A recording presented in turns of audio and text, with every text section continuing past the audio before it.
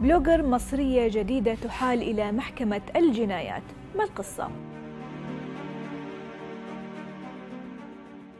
البلوجر العشرينية كان يفصلها أيام للاحتفال بمليون متابع على تيك توك قبل القبض عليها في مارس الماضي متلبسة بحيازة المخدرات الشرطة توصلت إلى معلومات تفيد أن البلوجر وصديق لها قالت إنها تزوجت منه عرفيا يروجان للمخدرات عبر السوشيال ميديا.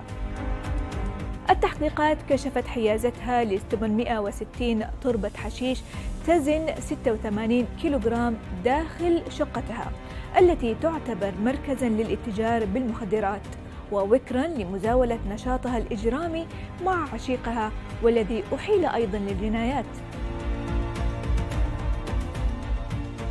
الأجهزة الأمنية قدرت قيمة الممنوعات المضبوطة بحوالي 9 ملايين جنيه مصري. لكن كما كشفت التحقيقات أن الثنائي يستخدمان أربع سيارات لترويج الحشيش.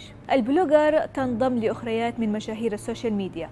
ألقت الشرطة المصرية القبض عليهن خلال العام بتهم مختلفة منها النصب وخدش الحياء العام أو حتى استغلال القصر لتحقيق المشاهدات.